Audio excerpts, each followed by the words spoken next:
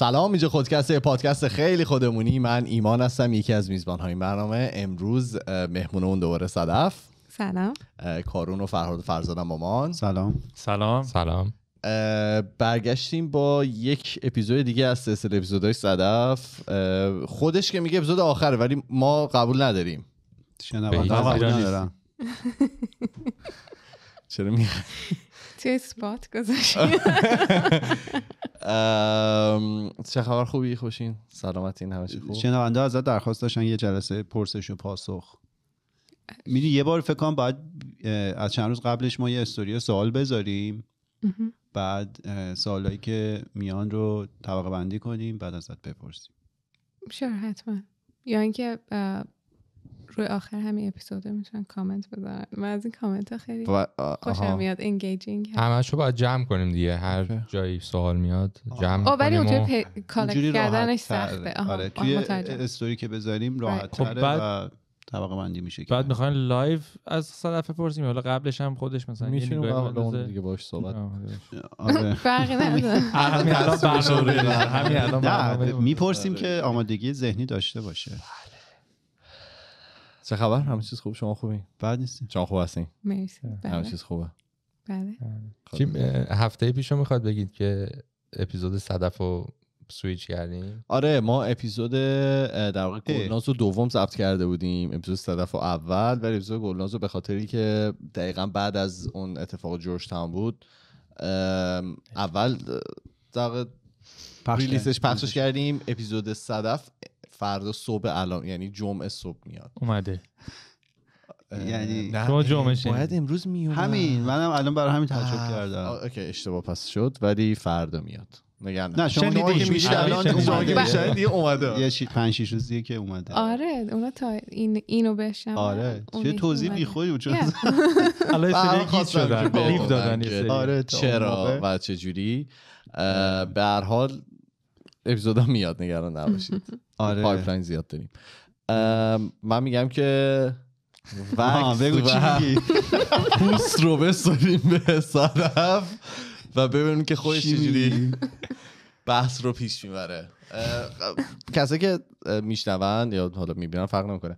ما داشتیم قبلی صحبت می‌کردیم و فهمیدیم که این ریش و قیچی رو میدم دست یک فرد. خیلی مسکولنته خیلی مردانه است و نمی‌دونم واقعا فارسیش چی میگن؟ فارسیش همینه دیگه. مسکولنت ها ها جنسیت زده؟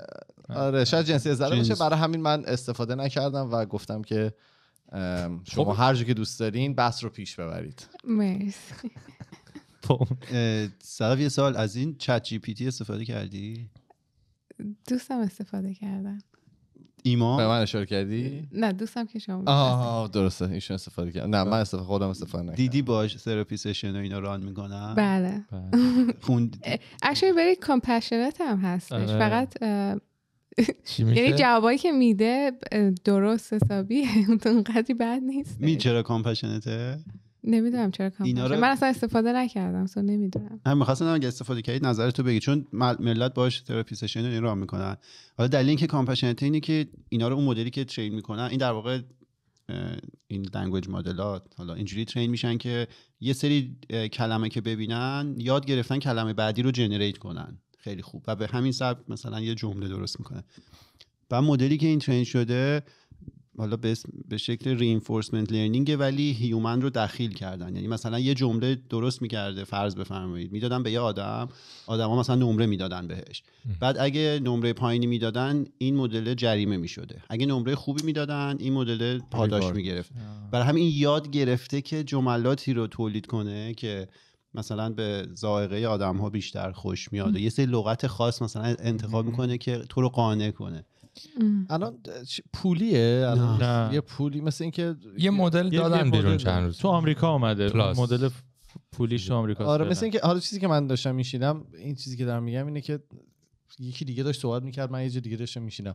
میگفتش که انقدر line up ش زیاد شده بوده که مدل پولیش اومده دیگه نیاز نداره تو line up بمونی یه هم چیزی شنیده بودم. نه یه وقتایی ممکنه login کنی سرور شلوغ باشه بهت میگه که مثلا دوباره چیز کن بعد refresh می‌کنی درست میشه. بعد ولی من version پولی رو تست مدل پولی مثل اینکه response rate ش سریعتره و تندتر برای تایپ می‌کنه. یکی از feature اش اینه. یا اینکه می‌تونید به این تراپی می‌دونی به غیر از این. ولی منم یه نصف باش کردم. خیلی. جالبه. اون چیزایی که می‌خواستم و به می‌گفت و فقط هم انگلیسیه یا نه فارسی؟ هم میشه. ولی فارسی هم میشه؟ آره. مشکلش اینه که روی تکست های فارسی خیلی ترین نشده. خیلی قوی نیست. مثلا بهش بگی چون هم شعر فارسی بگو همون شعر رو بگی انگلیسی بگو انگلیسیش خیلی بهتره. چون روی تکست های انگلیسی بیشتری ترین شده در واقع. ولی فارسی هم می‌تونه بگه. الانم خیلی ببخشید الانم خیلی ChatGPT چیز شده جنجال برانگیز شده. میگن ویو های خاص خودش رو داره می‌گیره و یعنی چی ویو یعنی نقطه نظرات جهتگیری داره. جهتگیری خاصی توش پیدا کرده. bias و اینا داره. آره یه سری حالا research و اینا داره اتفاقا روش run میشه. چون این مدلایی که کامپیوتری train میشن بر اساس حالا دیتا ستی که بیرون هست. مثلا فرض کنید روی حرفای توییتر ترین شده. بعد اگه توییتر محیط خیلی مثلا نجات پرستانا پرستانا پرستانان. یکی لغت پرستانه. نجات پرستانه مرد سالارانه داشته باشه. اینم همون جوری میشه. بعد الان مثلا کاری که می‌کنن اینه که بهش میگن مثلا یه مرد تو طول روز چی کار می‌کنه؟ بعد این یه سری کار رو لیست می‌کنه. بعد میان مثلا همونو میگن یه خانم تو طول روز چی کار می‌کنه. بعد از روی این می‌تونن تشخیص بدن که این مدل مثلا بایس داره یا نداره. نجات پرستانانه نجات پرستانه نانه نداره. نجات پرستانه آره حالا چت جی پی تی فکر کنم یه اپیزودی که کلا باید یه روز در صحبت کنیم ببینیم آره ولی بعد حالا راجع به همین موضوع می‌خواستم که تست کردی که ولی یه دور حالا اگه میشه نگاه کن نظرتو بگو. من خودم استفاده نکردم. میگم من دوستم که استفاده کرده بود یه چیز ازش سوال پرسیده بود که احساسی بود خیلی. بعد آخرتر که جواب داده بود که جواب قانع کننده هم بود ببخشید. داده بود یه چیزی که آخر سرش گفته بود گفته بود من رباتم زیاد احساسات رو متوجه نمیشم. ببخشید که اگه این جوابم زیاد خوب نیستش. سو خودش اینو ادمیت کرده بود که به نظر من خیلی چیز جالبی بود آخر سر بله. یه سوال هم. بپرسم تا چه حد می‌تونیم از Chat GPT سوال بپرسیم هر دقیقا من همین خواستم میگم مثلا میشه ازش پرسید که چجوری می‌تونم یه جسد رو قایم کنم آره و جواب میده؟ یا تو آره. گفتی که پروفایل می‌کنی یه چیزی توی مایا گفت کلا همه اینا به نظر من دیتای شما رو پروفایل می‌کنه اولش هم که استفاده کنید بهتون میگه دیتای حساس واردش نکنید. مثلا نگید پسورد من اینه یا فلان. بعد اینا رو میدن به در واقع حالا کارکنان اوپن ای آی و اینا برای اینکه سیستم رو بهترش کنن ممکنه اونا حتی بتونن ببینن. حالا معمولا اصطلاحا ریدکت میشه این اطلاعات یعنی اطلاعات حساس از توی متن برداشته میشه. ولی هیچ تضمینی نیست. برای همین چیز شخصی اصلا بهش ندید. ولی سوالات کلی می‌تونی مثلا جسد و چجوری قایم کنم. کلیه دیگه. ولی جزئی نشد تو آره نگو مثلا تو این آره. من تو این building. آره حالا اینجا اون اون بعده. ولی حالا اینی که میگم جسدش کجا قایم کنم توی اینستاگرام دیدم که یارو گرفته بودنش بعد میگفتش که رفتن Google search ش رو در آورده بودن. با مثلا ساعت پنج صبح زده بود که جسد چجوری میشه قطعه قطعه کرد.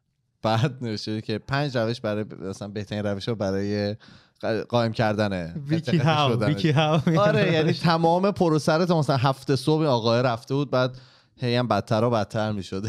دقیق تر و دقیق تر می‌شد Google search history ش برای همین می‌خواستم اینم که می‌تونن این کارو بکنن ملت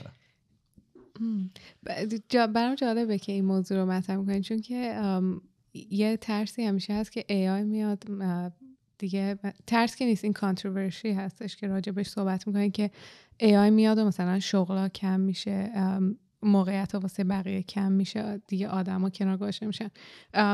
من که به قول فرهاد اون روز داشتم اپیزودی که با گلناز داشتین گوش می‌دادم میگفتش که من یه شخص ناآگاه سو من توی زمینه آی و اینجور چیزا یه شخص ناآگاه خودم رو حساب می‌کنم زیاد. در موردش نالجی ندم که بتونم راجع به صحبت بکنم. ولی به نظر من روح انسان ساکی انسان همونطور که توی اپیزود قبلی داشتیم راجع بهش صحبت می‌کردیم بدن انسانی موجودیت ما انقدر complicated هست که ما می‌تونیم خیلی خیلی شبیه بهش درست بکنیم. ولی خودمون اطلاعات کافی من فکر می‌کنم که از از انسان و nervous system و neuroscience به اندازه کافی نداریم که بتونیم اون رو replicate بکنیم. یعنی مشابهش رو به وجود. مشابهش رو به وجود. آها مشابه سازی بکنیم. شبیه سازی بکنیم ازش. و اینکه من نمی‌دونم که هیچ چیزی آیا می‌تونه intuition آدم رو replace بکنه یا نه. اون اون صدایی که از درونت میاد و می‌تونه replace بکنه یا نه. من فکر شما نمی تست کنید. چیزی می‌تونه اونو replace کنه یا نه. تستش. حالا نمی‌دونم. حالا یکی دیگه از ریسکایی که میگن داره و احتمالا الانم شاید یه سری درگیرش باشن اینه که می‌تونه پتانسیال اینو داره که یه partner برای تو بشه. حالا OpenAI یه دونه از اوناست ولی AI های دیگه می‌تونه یعنی انقدر می‌دونه که چه چیزایی به تو بگه که مثلا شاید عاشقش بشی. فیلم در موردش هست که. آره. نه همین این. می‌تونه این کار رو انجام بده. آره خیلی یه دریچه عجیبی باز کرده الان به دنیا. ولی راجبه حالا تعداد شغلایی که از بین می‌بره همین سوالو از خودش بپرسید براتون لیست می‌کنه. حالا من نمیگم اینه. آره نه نمیگم که مثلا کسی اگه اون شغل رو داره ناراحت نشه ولی قشنگ یه لیست بلند بالایی داره که از شغلایی که همین الان می‌تونه از بینش ببره. آره. اوکی. بفرمایید. خب ام، so می‌خوای این ریش و هم یه دونه بگم راجبش که چرا این کامنت آوردم. بالا so من قبل از اینکه شروع بکنیم داشتم به ایمان اینو می‌گفتم که ایمان من اینو متوجه شدم که تو این حرف رو می‌زنی و این خیلی فقط دارم اینو میگم به خاطر اینکه می‌خوام نشون ب- بیاد توی آگاهیمون که چقدر این پدر سالاری چقدر این ام، مرد مرد. آه مرد سالاری ببخشید مرسی این مرد سالاری و این ام، سرکوب کردن زنا توی, ف... توی کالبد تاروپود فرهنگ و اجتماع و حتی ضرب المثل و اینجور چیزای ما تنیده شده و ما اصلا ازش آگاه نیستیم که چطور این می‌تونه روی ناخودآگاه ما تاثیر بذاره روی روی همه چیز می‌تونه تاثیر بذاره و انقدر اینا ظریف عمل می‌کنه اینجور صحبت ها که ما اصلا آگاه نیستیم. بر همین گفتم نه اینکه حالا به جاش یه چیزی رو ریپ، یه چیز دیگر رو استفاده بکنیم. ولی همین که اه، آگاه باشیم که کلماتمون چه تاثیری داره روی اطرافیانمون و اینکه روی خودمون چه تاثیری داره. چون کلمات نه تنها فقط بار معنی دارن که ما توی دیکشنری یا توی لغتنامه پیدا میکنیمشون. کلمات با خودشون یه سری بار احساسی رو میارن که ما ناخداگاه یه سری نقطه هایی که تو ذهنمون هست و در اثر اینکه یه کلمه رو میشنویم به همدیگه وصلش می‌کنیم. چون ما مغزمون انگار که یه نقشه هم داره که مثلا اون نقشه هر رو فالو می‌کنه. سو فقط از پنج تا احساسمون استفاده نمی کنیم که یه اطلاعاتی رو دریافت بکنیم. اونو با اون چیزی که تو ذهنمون هست مطابقت میدیم و بعد انگار که فکت چکش می‌کنیم. ببینیم که واسه من چه چجوری می‌خوام اینو دریافت بکنم. تو بر اساس اون داده هایی که تو ذهنمون هست یه معنی مشخصی رو از یک حرفی دریافت می‌کنیم. به خاطر همین خیلی مهمه که کلا این جنرال مخصوصا هم که یعنی تو حالت عادی مخصوصا هم این که از یه بحرانی می‌خوایم رد بشیم خیلی مهمه که از چه کلمه ای از چه گویشی استفاده می‌کنیم که این حالا باز دوباره اون اپیزود قبلیتون رو که با گلناز بود من نگاه کردم که برای, برای همه چقدر جالب بود این نوع گفتگوی اون چهار تا آدمی که اونجا نشسته بودن. اصلا مطلبی که می‌گفتن نه همون همبستگی توی که توی نوع گفتگوشون بود چقدر برای همه جالب و دلگرم کننده بود. سو اینه که ام، امروز می‌خوام راجع به ابزارا صحبت بکنم که چطور ما ابزار داشته باشیم که از بحران عبور بکنیم.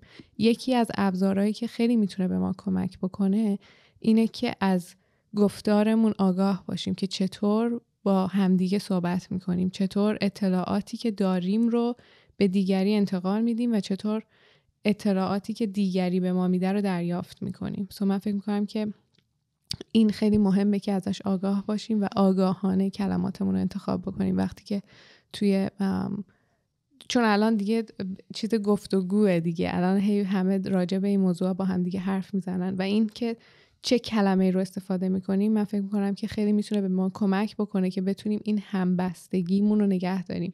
فرای اینکه نظر شخصیمون چی هستش. و از از از باعث های ذهن خودت آگاه باش. از اون سوگیری. سوگیری؟ سوگیری میشه. از اون سوگیری های ذهن خودت آگاه باش. سوگیری برای من معنی نمیده. از اون جهتگیری ها آره. از اون جهتگیری هایی که پیش زمینه های ذهن خودت هست آگاه باش که چرا من دارم همچین تصوری رو نسبت به دیگری دارم و یه چیز دیگه ای که خیلی مهمه من فکر می‌کنم که خیلی به همه ما کمک می‌کنه که به سمت اون هدف مشترک بریم اینه که خودمون رو ادوکیت بکنیم بریم راجع به مسائلی که نمی‌دونیم ندونستن یه یه حالت یه, یه موقعیت خوبیه که توش باشی. اگه که راجبش کنجکاو باشی و بری مطالعه بکنی بری بخوای یاد بگیری و اطلاعات خودت رو زیاد بکنی. اگه یه چیزی رو نمی‌دونیم این به معنی بدی نیستش که ما ناتوانیم کمه. مثلا اون یه چیز بدی نیست نسبت یه نسبت بدی به خودمون ندیم از اینکه یه موضوعی رو نمی‌دونیم. برین راجبش مطالعه بکنیم و مطمئن بشین از اون تصمیمی که می‌خوایم بگیریم به جای اینکه حرف دیگران روی شما تاثیر بذاره چون باز دوباره اون اپیزود قبلی راجع به transference و projection که داشتم صحبت می‌کردم projection این فرافکنی هایی که ما رو همدیگه می‌کنیم خیلی تاثیر عمیقی می‌تونه روی ما داشته باشه و ما هرچی آگاه تر باشیم هرچی. با مطالعه تر باشیم در برابر اینا مصون تر هستیم نمی‌دونم این چیزی که میگم make sense می‌کنه یا نه. دارم سعی می‌کنم مشکل رو بیام فرید آره. می‌خوای بیشتر توضیح بدی در موردش؟ من, من یاد یه مثال افتادم که تو خودکستم گفته بودم قبلا رفت داره به اون کلمات و اون ذهنیت که داریم فکر می‌کنم. اونم یه تجربه بود که داشتم با یه خانم ایرانی اینجا که قرار بود یه قراردادی رو امضا کنیم و سر یه سری حالا آیتم هایی که تو قرارداد بود داشتیم با هم مذاکره می‌کردیم. حالا این اوشون یه سری چیزایی می‌خواد من یه چیز دیگه یه سری چیزای دیگه. در هر حال یه جای شد یه کمی عصبانی شد خانومه و لفظی رو استفاده کرد که من خیلی منو به فکر فرو برد و ناراحتم کرد. گفت که درسته که من خانومم ولی مثلا منظورش من داری خانومم ولی متوجه میشم که مثلا تو داری زور میگی مثال حالا. بعد که من سعی کردم ذره آرامش کنم گفتم مثلا که حرف درستی نیست حالا داریم صحبت می‌کنیم چیز. ولی ناراحت شدم به خاطر اینکه حس کردم این حالا مرد سالاری یا ذهنیت زن ستیز یا ذهنیتی که سرکوب می‌کنه زن خیلی تو لایه های پایین یک خانومم هست. یه. اون خیلی منو هیت کرد. شاید اگه مثلا یه مرد اونو می‌گفت دیگه می‌گفتیم که دیگه مرده دیگه. این هست داخلش بای دیفالت ولی اون که خانوم هم خودش اینو گفت شاید هم بهش آگاه نبود.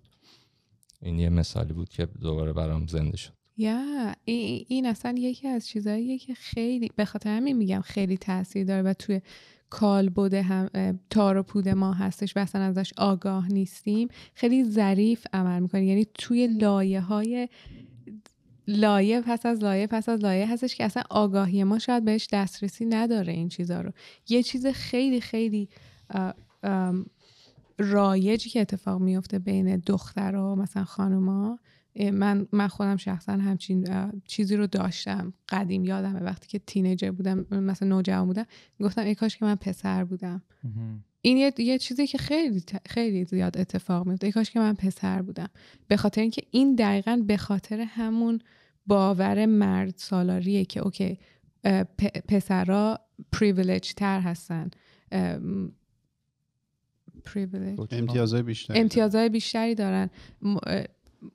آره امتیازهای بیشتری می‌گیرن توی جامعه که اینطوری ساختارش هستش. به خاطر همینه که ما باید خیلی آگاه باشیم از اون شیوه کلام، کلامی که استفاده می‌کنیم و اینکه مهمتر از اون اینه که توی این لحظه که دارم این کلمه رو استفاده می‌کنم چه اتفاقی داره توی ذهنم و توی بدنم میفته اینو به اندازه کافی نمی‌تونم تکرار بکنم که چقدر این آگاه بودن از اتفاقات درونی توی بدنمون به ما کمک می‌کنه که از یه, از یه بحران عبور بکنیم.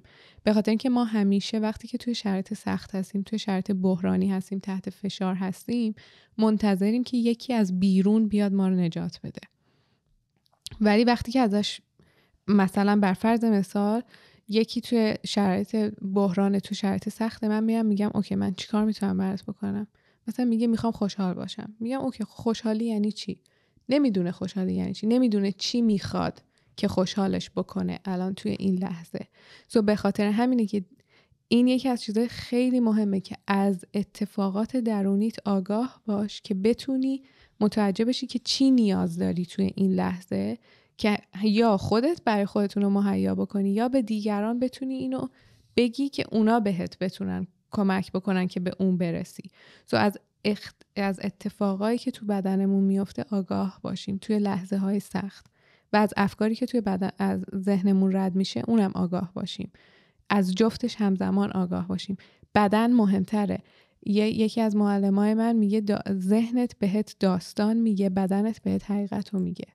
So, توی ذهن بودن شاید سرگرم کننده تره شاید برای ما کامفتبل تره آشناتره راحت تره. چون توی بدن حقیقت دردناک نگه داشته شده. سو یه مقدار سختتر میشه. ولی همین که بیای بمونی توی بدنت جوابا واسط میاد. بدنت بهت میگه اینه که گفتم اون آی نمی‌دونم می‌تونه یه ذره میشه مثال راجبش بزنیم. به نظرم موضوع جالبیه ولی من خودم خیلی متوجهش نمیشم الان. اینکه توی بدنمون بمونیم و توجه کنیم جواب میاد. یعنی چی؟ یعنی مثلا فرض کنید شما توی یه مکالمه حساسی هستید و مثلا اضطراب به شما وارد شده. و اینا حالا توی دل قفسه سینه هر جایی متوجه میشیم و فرض کنید اون آدم هم توی اون شرایط اینکه به بدنش رجوع کنه و جواب اونجا هست یعنی چی؟ اتفاقا این ببین این یه موضوعی که انقدر راجبه اصلا به ما یاد ندادن اینو هیچ وقت. اصلا نمی‌دونیم یعنی چی. من یه بار چون توی انگلیسی وقتی که توی جلسه تراپی هستم انگلیسی مثلا به, به, به client م میگم که can you sit with it میگم می‌تونی بشینی پیشش. so اینو که به فارسی می‌خوام ترجمه بکنم به client فارسی زبونم هم همینو میگم. اوایل می‌گفتم که می‌تونی بشینی پیشش. الان میگم که می‌تونی بمونی باهاش که یه مقدار ملموس تر بشه. یعنی چی؟ منظورم چیه که بشینی پیشش؟ یه بار به یکی از client ام گفتم می‌تونی بشینی پیشش؟ گفت خب من که نشستم. منظور این نیست که بشینی پیشش. منظور منظور اینه که تمرکزت رو بیاری روی بدنت به جای اینکه فکر بکنی به اینکه چی داره میشه.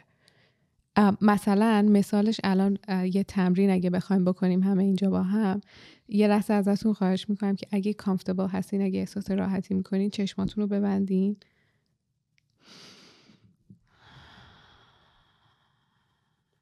تمرکزتون رو بیارین روی پاتون و اون سطحی که داره لمس می‌کنه. نگاه کن که این نرم زبر خونک گرمه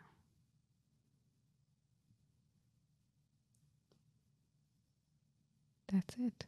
چطور بود؟ آروم کننده بود زیاد فرقی برای من نکرد تو شاید خیلی آره. کوتاه بود ولی خب منم شبیه ما بودم یا سو تمرکز تو که میاری چون الان که ما داریم با هم حرف می‌زنیم متوجه نیستی که پات کجاست. اصلا اهمیتی برات نداره پات کجاست. نمی‌دونی پات اون سطحی که ده. من الان پای چپم روی پای صندلیه سو یه سطح محکمتریه. ولی پای راستم روی فرشه. یه سطح نرمتریه. وقتی که دارم صحبت می‌کنم از این آگاه نیستم. یا روی صندلی که نشستم صندلی منو نگه داشته. یا اگه تکیه بدم پشتم کمرم و صندلی نگه داشته. یا الان دستم روی دستمه گرمای کف دست راستم رو روی پوست سطح دست چپم احساس می‌کنم. ولی وقتی که دارم حرف می‌زنم از این آگاه نیستم. اگه که حواسم بهش نباشه. به همین سادگیه. یعنی تمرکزتو بیار روی احساسی که کف پات داری. احساس می‌کنی. اینجوری ببین این خیلی خیلی ساینس هستش. اگه که من به شما بگم که الان فرض کن که انگشت کوچیکه دست راستت میخاره. ناخودآگاه این شروع می‌کنه به اینکه توجهت میره اینجا یه, یه سنسیشن رو توش احساس می‌کنی. حالا ممکنه که نخاره یا هر چیزی ولی یه تمرکزت میره اونجا. سو هر جا که تمرکزت رو بذاری توجهت هم میره همونجا. نیازی نیست بهش فکر بکنی. یه چیزی نیستش. انقدر ما فکر کردیم انقدر ما آنالیز کردیم توی ذهنمون اصلا بودن و بلد نیستیم. انگار یادمون رفته. که یعنی چی من بمونم پیش احساسم؟ I don't know how to do that. نمی‌دونم چطوری این کارو بکنم. همش می‌خوای فکر بکنی که چطوری بمونی پیش احساست. اصلا نیازی به فکر کردن نیست. فقط هدایت کن تمرکزت رو روی بدنت روی دستت روی پات. به همین سادگی. یه من یه مثال فهم خواستم بزنم. اینو توی موتور سواری خیلی میگن. تو موتور سواری میگن you go where you look. میگن که اگه می‌خوای بپیچی به اونجایی که می‌خوای بری نگاه کن. چون اگه فکرتو بذاری روی اینکه الان می‌خوام بپیچم بعد مثلا نگاه به زمین بکنی 100 درصد می‌خوری زمین. مثلا نگاه به پاد بکنی که پام رو کلاچ هست یا نه می‌خوری زمین. میگن که اونجایی نگاه کن که می‌خوای بپیچی. حتی اگر که هیچ ایده ای نسبت به اینکه مثلا پا و دستت اینا کجا هست نداری اون رو نگاه کن. حالا شاید یه ذره شایع باشه شاید هم مثلا هیچ ربطی نداشته باشه. یه ذره اینو اگه میشه مثال عملی ترش رو انجام بدید فرض کنید مثلا تو خیابون داریم رانندگی می‌کنیم. یکی اومد بعد پیچید جلوی آدم. خب؟ یه احساسی توی وجود آدم ایجاد میشه. اینو میشه یه مثال بزنی که اون لحظه با خود با احساست بودن یعنی چی در کنارش بودن. Sure. So این اتفاق اتفاق خیلی هم کامل اتفاق میفته واسه خود منم اتفاق میفته. So عکس عملت اینه که عصبانی میشی دیگه. احتمالا فرستر... کلافه میشی عصبانی میشی. یعنی خ... خشم میاد بالا. خشم باش بر چی میاد بالا؟ بر اینکه چیزایی که حالا تو ذهنت میاد. این چه آدم حالا ممکن فوش و اینا هم بدی. بعضا جا نگاه من کردم چون من تصور ممکن فوش و اینا هم بهش بدی. چه آدم کم توجهیه چقدر راننده بدیه یا حالا دیگه چیزای دیگه که دنبالش میاد. و این اینا چیزایی که فکرت داره بهت میگه. چیزی اگه توجه تو بخوای بیاری روی بدنت اینه که اوکی الان که این اتفاق افتاد چه احساسی اومد بالا؟ خشم اومد بالا. کجا؟ تو بدنم چه تغییری احساس می‌کنم؟ او ضربان قلبم در رفته بالا. That's it. تمرکزتو می‌ذاری روی ضربان قلبت که رفته بالا. هیچ کار دیگه نمی‌خواد براش بکنی. به جای اینکه شروع کنی گی- گیر کردن توی سرت که او این چقدر بیشوره چقدر بده چقدر راننده بدی بود. فلان فلان فلان همه چیزهای دیگه که دنبالش میاد. بعد جواب کجاست؟ یعنی چی وقتی به- به خاطر اینکه هیچ وقت این کارو نکردی متوجه نمیشی. هی می‌خوای آنالیزش بکنی الان. یه بار که این کارو بکنی مت... می‌بینی که همین اکتی که توجه تو گذاشتی روی, تمر... روی قلبت یا روی ضربان قلبت که رفته بالا همین بهت کمک می‌کنه که یهوی آروم بشی. همین. دنبال خشم. چه جوابی میگه؟ جوابی نه. این این مثالی که زدی اتفاقا جوابی نداره. فقط اینکه تو عصبانی میشی به خشم آگاه میشی احساس خب, خب همین دیگه. یعنی پس با آگاه شدن به اون ضربان قلب و حالا به درجه دمای بدن بره بالا و اینا اون خشم That's به- نوعی همین. آره، فقط. فضا درست می‌کنی که اینو داری می‌بینی. یعنی به خودت میگی که او کارو می‌بینم که چقدر عصبانی شدی که این شخص این کارو کرد. و بعد شروع می‌کنی حالا دیگه اینا میره تو کار مثلا روان درمانگری در واقع که بعد میگی که اوکی حالا که این آدم این کارو کرد من چه چه چیزی تو ذهنم اومد که او مثلا این هیچ اهمیتی برای من قائل نیست. انگار که منو نمی‌بینه. انگار که منو نمی‌بینه که اینجا هستم. اینه که تو رو عصبانیت می‌کنه نه اینکه اون پیچید جلوت. اونی که پیچید جلوت عصبانیت نمی‌کنه. اون تجربه اون باوری که بالا میاد که او این منو ندید. این منو نادیده گرفت. آها. و بعد نگاه می‌کنی okay کیا بود که تو زندگیم نادیده گرفته شده بودم که اینقدر عصبانی میشم؟ اوه وقتی که مثلا teenager بودم اینجور شد. وقتی که مثلا توی فلان رابطه بودم اینجور شد. وقتی که بچه بودم اینجوری شد. so اینا همش intensity ای که داری تجربه می‌کنی اون شدتی که اون احساس میاد بالا وقتی که از تعادل خارج با اون اتفاقی که افتاد این نشون دهنده اینه که این برمیگرده به گذشته. شاید اونقدر intense نباشه. فقط یه لحظه شاید شوک شدی اصلا وقتی که این ماشین پیچید جلوت. اگر که فقط شوک شدی و خشمی در کار نیست همین که توجه می‌کنی همین که خودتو آروم می‌کنی اسمش هست self-regulation یعنی خودت خودتو تنظیم می‌کنی. خودت خودتو آروم می‌کنی میاری ضربان قلبتو به حالت عادی نفس کشیدن تو میاری به حالت عادی و می‌تونی امن به رانندگیت ادامه بدی. این میشه گفت که مثلا این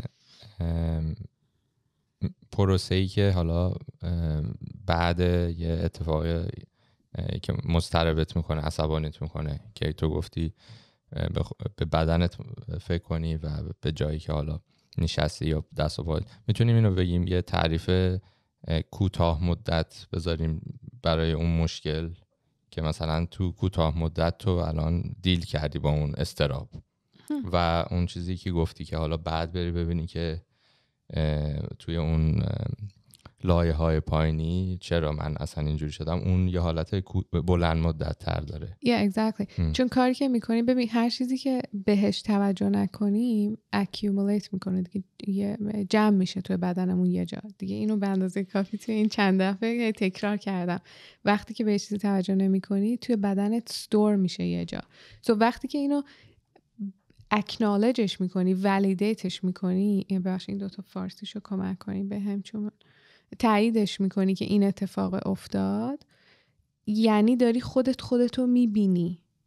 یعنی نادیده نگرفتی اون اون اتفاقی که تو بدنت افتاد. حالا یه چیزی که من خیلی به همه کلانتم یعنی توی همه جلسات درمانی این تقریبا میاد بالا. ما همیشه می‌خوایم یه مقدار بذاریم. می‌خوایم همه چیز رو اندازه گیری بکنیم. نیازی به اندازه گیری نیست. همین که من از حالت عادی خودم خارج میشم یعنی از اون تنظیم خودم در اومدم. مهم نیستش که خیلی بزرگ باشه خیلی کوچیک باشه. وقتی که از تنظیم خودم در میام باید براش یه کاری بکنم. چه کوچیک چه بزرگ. و این نگاه کردن این تمرکز کردن روی بدن اینو داری به خودت میگی که او من دیدم که یه اتفاقی افتاد. من اینجا پیشت هستم. تو تنها نیستی. حواسم بهت هست. حالا مثال قبلی یه ذره پیچیده ترش کنی. فرض کنید توی شرایطی باشیم که نیاز به واکنش حالا به نسبت آنی ما داشته باشه. حالا دو تا مثال مختلف می‌زنم ولی اینا زمانایی که به قول خارجی ها stakes are high. یه زمانیه که اتفاق مهمی داره میفته فرض کنید مثلا توی دارید کار می‌کنید توی جلسه هستید. یه ایده ای رو شما مطرح می‌کنید. یه کسی حالا حرفی می‌زنه که حالا نامناسب مطرحش می‌کنه ادبیات نامناسب یا هر چیزی و اون لحظه فرض کنید به شما بر می‌خوره ولی وسط ارائه هستید. خب فرض کنید مثلا ضربان قلبت میره بالا یا هر چیزی وسط ارائه هستی و نیاز داری به اون آدم پاسخ بدی. از این در واقع تاکتیکی که شما گفتین چجوری میشه استفاده کرد توی اون موقعیت؟ یا حالا حالت دوم فرض کنید با یه آدمی که دوستش دارید دارید صحبت می‌کنید ولی به هر دلیلی در واقع خیلی آتیشی شده مثلا صحبت و شما احساسات برانگیخته است ولی در لحظه هم نیاز هست که شما یه واکنشی بدید. یعنی مثل حالت راننده پیچید جلوت وقت نیست که بعدا بری این رو تحلیل کنی ببینی اوکی مثلا برمیگرده به این که من حس کردم نادیده گرفته شدم. در واقع سوالم اینه که وقتایی که حالا آدم برانگیخته است به هر دلیلی توی محیط های حساس و نیاز به واکنشی به نسبت آنی هست چجوری میشه از این شرایط استفاده از این در واقع تکنیک استفاده کرد که بهتر مدیریت کرد؟ اینی که داری میگی خیلی سابجکتیوه که نیاز به عکس عمل آنی هستش. چون اون دیدگاه توه توی اون لحظه که نیاز به عکس عمل آنی هست یا نیست. سو کاری که می‌کنی وقتی که یه چیزی هیتت شده تو همون لحظه اینه که پاز فقط می‌کنی. پاز می‌کنی یعنی مکس می‌کنی فاصله درست حتی اگر توی جلسه هستی من توی جلسه تراپی این اتفاق میفته اگه بخوای از, از روش کانونشنال بهش نگاه بکنی بزرگ من این کلمه رو هی میگم. معمول رایج. از رایج بهش نگاه بکنی اینه که تو فقط وظیفت اینه که تراپیست باشی درمانگر باشی و با اون آدم حرف بزنی خودت خیلی composed باشی و همه چیزا سرجای خودش باشه حواست به خودت باشه. چیزی هم بالا اومد نباید نشون بدی چون زمان مربوط به client ته ولی بینشی که شیوه‌ای که من یاد گرفتم یا بینشی که من دارم نسبت به این قضیه اینه که منم آدمم وقتی که اونجا نشستم دارم با یکی صحبت می‌کنم. So می‌تونی از, self disclosure استفاده بکنی. یعنی اینکه بگی راجبش صحبت بکنی. مثلا من توی تراپی این اتفاق میفته بارها افتاده و هیچ اشکالی هم نداره. و این به client ت هم حتی به مراجع هم کمک می‌کنه که متوجه بشه که این درده خیلی دردناکه. بهش میگی که این چیزی که داری میگی من دارم احساسش می‌کنم باهات. این چیزی که داری میگی من دارم منم دارم اینو به منم تاثیر می‌ذاره. می‌تونم یه لحظه یه چند تا نفس بکشم. I need to take a pause. یه،, نیاز دارم که یه لحظه مکس بکنم. یا توی جلسه که هستی که اون مثالی که زدی یه نفر یه عکس عملی نشون میده اونم همینطوریه. مکس می‌کنی. هیچ اتفاقی نمیفته همه چیز قرار نیست تون باشه. این این سریع بودن یه تراما ریسپانسه اینی که ما همیشه می‌خوایم جوابا رو بلد باشیم همه چیزها رو بدونیم و سریع جوابی بدیم. این یه تراما ریسپانسه که ما همیشه روی دور تند. هستیم. همیشه باید تون تون کارا رو بکنیم. نیازی نیست. ما باید با ریتم خودمون هماهنگ باشیم. همونجا توی جلسه سب کن مکس کن. بگو که این صحبتی که شما کردین یه سری احساسا رو برای من آورد بالا یا یه مقدار درک کردنش برای من سخته و من نیاز دارم که یه لحظه فاصله بگیرم. یا تو انگلیسی برای من گفتنش راحت تره مثلا I don't appreciate the way that you talk to me.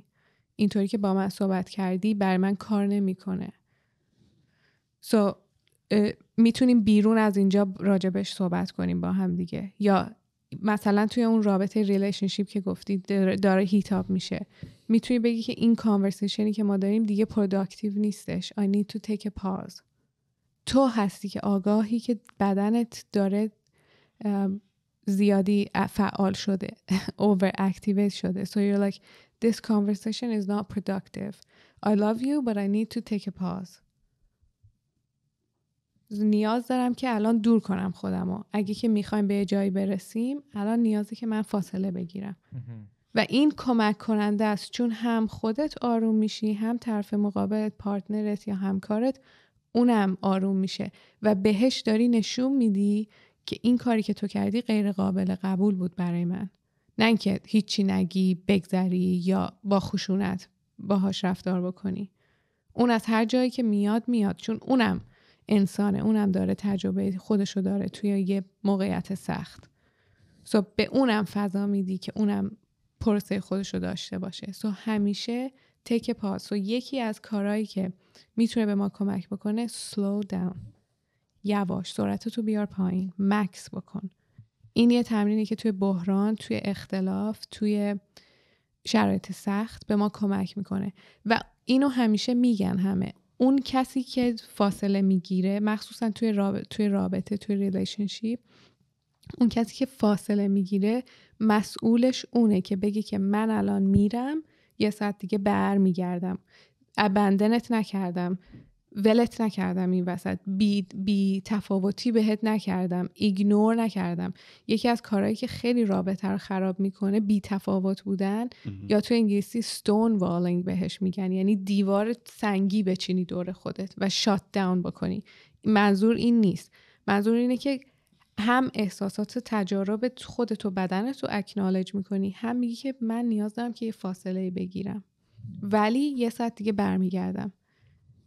تو انگلیسی میگن this and یعنی I need a pause and I will be back. که اون امنیت رو براش ایجاد می‌کنی که تموم نشد. من میام برمیگردم. راجبش با هم حرف می‌زنیم ولی الان نمی‌تونم حرف بزنم. تازه خیلی خوبه. ببخش من ادامه داره. اون لحظه فرض کنید حالا صحنه رو ترک کنی حالا چه محیط کار چه relationship هرچی. بعد اگه این نگرانی باشه که بعد اینکه دوباره بخوای برگردی و راجع به این موضوع صحبت کنی بدنت همون واکنش رو نشون بده چی؟ You need longer. زمان بیشتری نیاز داری. من منابع بیشتری نیاز داری که بهت کمک کنه برگردی تو حالت عادی. این این محدودیت این این زمانی که می‌خوای تو تعیین می‌کنی. آخه من در اینکه این سوالو می‌پرسم اینه که همه ما احتمالا این شرایط رو توش بودیم که فرض کن اصلا خود تنهایی. توی ذهنت داری فکر می‌کنی به یه موضوع مجادله برانگیز بحث برانگیز و متوجه میشی که اصلا ضربان قلب رفته بالا مضطرب شدی هرچی این نشون میده که یک ذهن ما که متوجه نمیشه الان مثلا داره با کسی صحبت می‌کنه یا صرفا مکالمه توی ذهنه. ذهن ما واکنش نشون میده به شرایط استراب آور. این مثال زدم که بگم یه سری topic ها می‌تونن فی نفسه یعنی به خودی خود این nature اضطراب آور باشه حالا بسته به آدمش. خب. فرض کنید اون topic مطرح شده توی محیطی و شما متوجه میشی که بعدا توی شرایط فشاره و تصمیم می‌گیری که مثلا time out بگیری. ولی خب این در واقع فکر هست که به محض اینکه برگردی و بخوای راجع به اون موضوع صحبت کنی دوباره heated میشه و دوباره بدن واکنش مشابه نشون میده. این رو چی کارش میشه کرد. فراد یه چیزی می‌خواستی بگی؟ نه من اونو حالا نمیگم. ولی راجبت حرفی که کارو می‌زنه شاید حالا من در رابطه با relationship و چیزی که خودم تجربهش رو داشتم وقتی این اتفاق میفته من خودم خیلی استنوال می‌کردم. مدت زیادی فکر می‌کردم که اون روش خوبیه.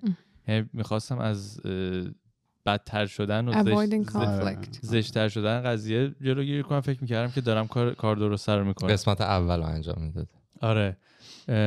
خب بعد خب دیگه خیلی اتفاقات دیگه افتاد و به قول اینا از روش سختی یاد گرفتم. Learn it the hard way. و فهمیدم که باید اینو بگی و حالا در ادامه صحبت کارو می‌خواستم بگم که حالا تو رابطه اینطوری بوده که مثلا من وقتی میگم که اوکی بیا الان یه, یه رو راجع به این قضیه حرف نزنیم حداقل من تواناییشو ندارم که روی این ریتم ادامه بدیم همسر منم خودشو حالا یا نه, نه که بگم اجاز می‌کنه تنظیم می‌کنه میده. آره تطبیق میده ولی اه، خواه ناخواه تو صحبت کردن اون هم یه تغییر رویه‌ای می‌بینم یا دیدم. وقتی این اتفاق میفته. و دقیقا حرف کارون رو من تجربهش کردم که بریکر رو گرفتم و دوباره استراب داشتم که اوکی حالا که برگردیم بخوایم راجع به این قضیه حرف بزنیم که دوباره همون اتفاق میفته ولی نشده. یعنی خیلی از مواقع دیدم که خب این اینی که من اطلاع دادم و به زبون آوردم که آقا okay شرایط این بوده بذار pause کنیم بعد دوباره برگشتیم. تو هر جفتمون تاثیر مثبت تری گذاشته. Yeah. پس نتیجه اینه که برای آدمای dismissive و avoidant ی مثل من و فراد این بعدن برگشتن به اون قضیه واسه تکرارش نمیشه. یعنی این. یه پیش داوری غلطه. و طبیعی. یه, یه چیزی طبیعی. این, این یه تجربه است که فراد شیر کرد که با اینکه این فضا رو درست می‌کنی هم خودت آروم میشی هم طرف مقابلت آروم میشه.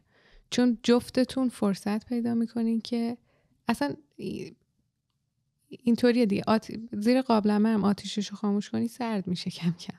سو وقتی که فاصله درست می‌کنی یعنی داری اون آتیش رو کم می‌کنی اون شعله رو داری کمش می‌کنی. سو این کم کم خنکتر میشه. و اون زمانی که استفاده می‌کنی مهمه که چیکار می‌کنی؟ نه اینکه بری بشینی همون تو فکرهای منفیت گیر کنی. بری بشینی فکر کنی که okay چه اتفاقی افتاد تو بدنم؟ نیازم چی بود؟ چرا این اینطوری شد؟ نه اینکه او این این کار رو کرد می‌خواست اینو به من بگه. می‌دونی تو اون negative thought process گیر نکنی. واقعا اون زمانی که فاصله درست می‌کنی رو واسه self reflection استفاده بکنی واسه انعکاس به خودت استفاده بکنی. این یه, یه جور تجربه است. یه این چیزی که شما دارین راجبش صحبت می‌کنی تو انگلیسی می‌تونه همون تریگر من باشه که کلمه خوبی نیستش من زیاد دوست ندارم از این استفاده بکنم. ولی یه, نقط... یه... یه نقطه دردناکیه برای من که هر جا هر مکان توی هر موقعیتی حتی دعوا حتی آرامش من اینو این اون موضوع بیاد بالا یا من فکر کنم که داره به اون موضوع اشاره میشه it's either present or I perceive it to be present. یا هستش یا من فکر می‌کنم که هستش. چون که این تریگر منه چون جای زخم منه این درد و واسه من بالا میاره. اینجاست که شما 100% 100 درصد مواقع نیازه که بری از یک آدم حرفه‌ای کمک بگیری که بتونه برسه به اون ریشه این درده که چیه این درده که تا که صداش میاد رنگش میاد بوش میاد یا از ده کیلومتری من می‌بینم که داره کم کم بهم نزدیک میشه من احساس خطر می‌کنم و توی همونطور که تو اپیزود قبلی گفتم نروس سیستمم شروع می‌کنه تو حالت دفاعی رفتن. یا می‌خوام بجنگم یا می‌خوام فرار بکنم. کسی که اوایدنت هستش یا ستون وال می‌کنه اوایدنت چی میشه؟ تفره میره. دوری می‌کنه. کسی که دوری می‌کنه احتمالا به دلیل اینکه می‌خواد همونطور که فراد گفت avoiding conflict یعنی می‌خواد بدتر نشه. فکر می‌کنه که این کار خوبه اون یه جور فراره یه جور اسکیپه یه جور حالت دفاعی من فرار کردنه. so there, there too many def... میگم دیگه اونطوری یه جواب نیستش. بستگی داره به تجربه درونی تو بر همین میگم به بدنت که توجه بکنی می‌فهمی که تو بدن من چه اتفاقی داره میفته مثلا کسی که اوایدنته و ستون وال می‌کنه احتمالا توی اون لحظه بدنش اصلا شات داونه اصلا هیچ, هیچ چیزی تجربه نمی‌کنه.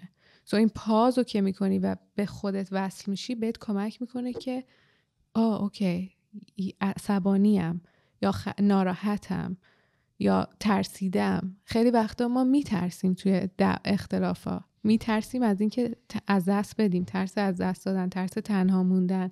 ترس ارزش عاشق بودن ارزش عشق رسیدن نداشتن. ترسه. و ترس خیلی قویه. به خاطر همین ما میریم تو حالت دفاعی. So, اولین کار slow down یواش. سرعت تو بیار پایین. یکی از کارهایی که می‌تونید برای اینکه سرعتتون رو بیارین پایین نه تنها فاصله ایجاد کنی مکس ایجاد کنی بلکه همون جایی که هستی شروع کن آروم آروم قدم زدن. ده تا قدم خیلی خیلی یواش بردار و همونطور که اون تمرینی که اول یه لحظه خیلی کوتاه تمرینش کردیم پاتو روی سطح زمین احساس بکن که از ذهنت کمک بکنه بیای بیرون و بیای توی بدنت.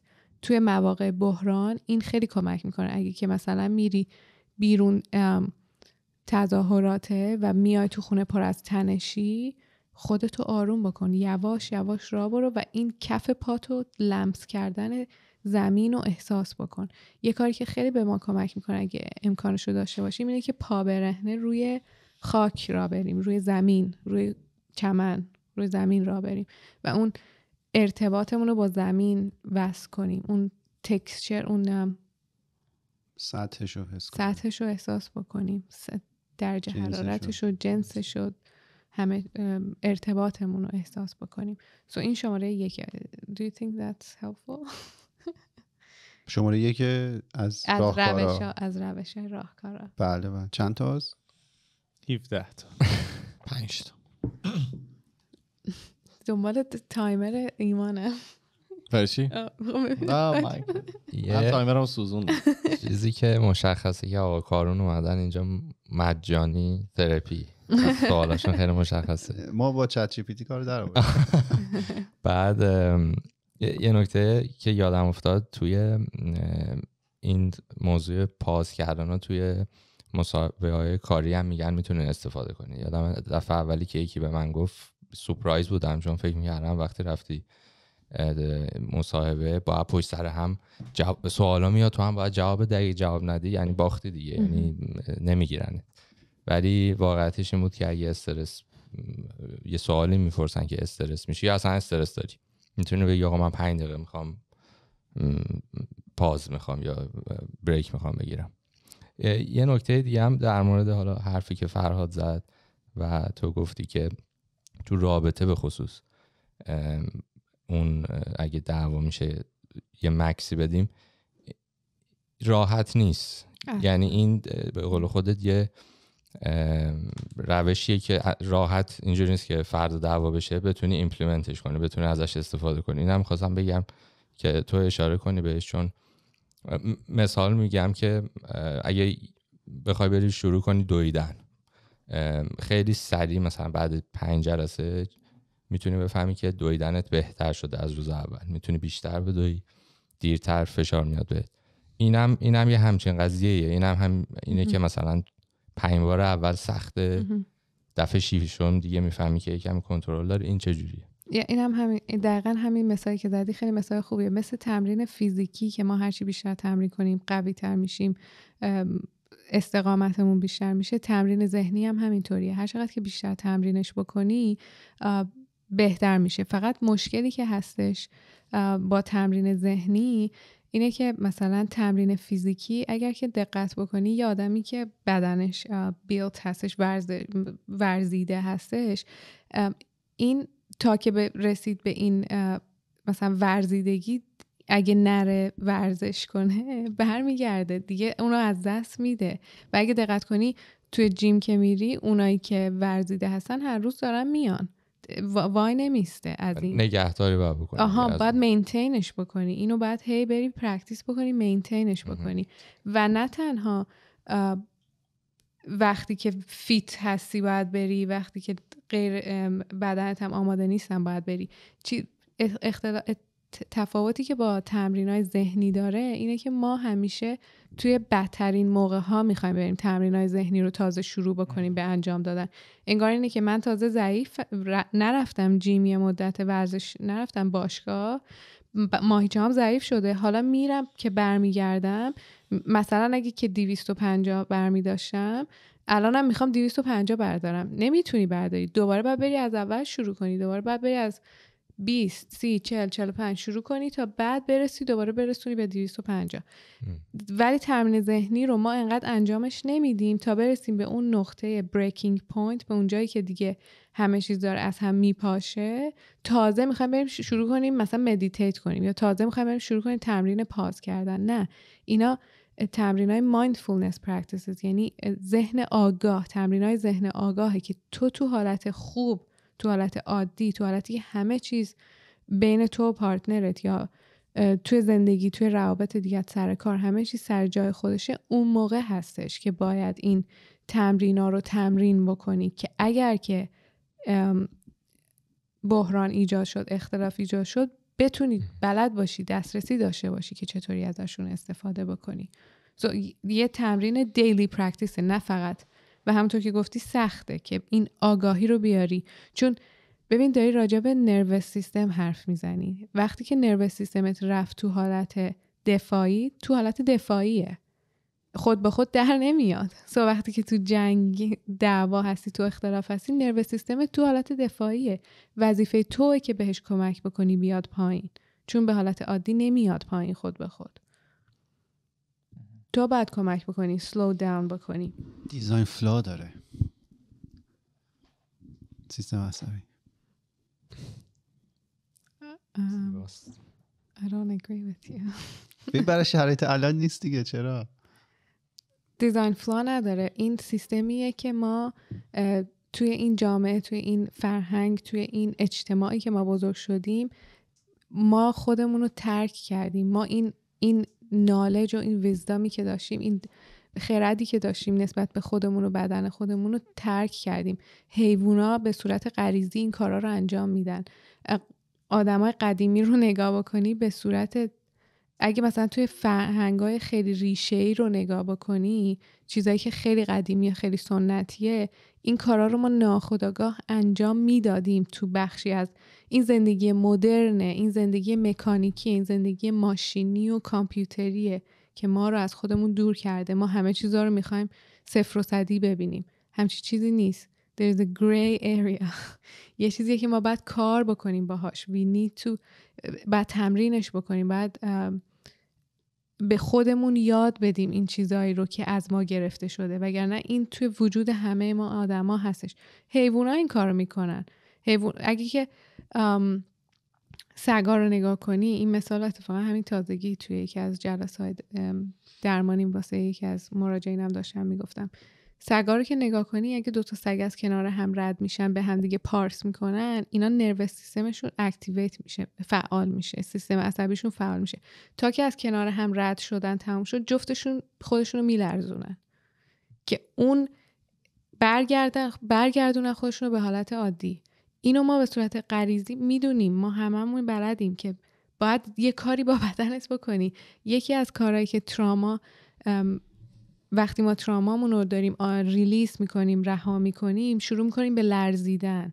خیلی وقتا نمی‌دونم این تجربه رو داشتین یا وقتی که تجربه های سخت و دردناک و داری بدنت شروع می‌کنه به لرزیدن. این چیز خوبیه یعنی اینکه داری اینو پروسش می‌کنی. ولی ما سریع می‌خوایم اینو استاپش کنیم. نه نه نه این دوا رو بخور این کارو بکن نه اجازه بده که بلرزه تموم میشه میره. هیچ اتفاق بعدی قرار نیست بیفته. این نیچر ماست این طبیعت ماست. ما فقط انقدر ازش دور شدیم که که فکر می‌کنیم که یه ایرادی هست یا باید یه چیز رو عوض بکنیم.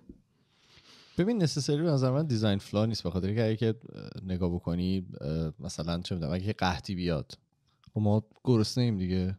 میگه اونم دیزاین فلا به خاطر که برای اون شرایط ساخته نشده بدن ما. ولی اینقدر اونم به خاطر که یه در واقع چیزی که بهش نیاز داریم وجود نداره یا دسترسی کامل بهش نداریم. احساس می‌کنم این بدن و احساسات و در واقع اینجور نگرش نسبت به خودمون انقدر ما در موردش نه جایی بهمون گفتن نه تو مدرسه به اون آموزش دادن نه تو خانواده به اون آموزش دادن.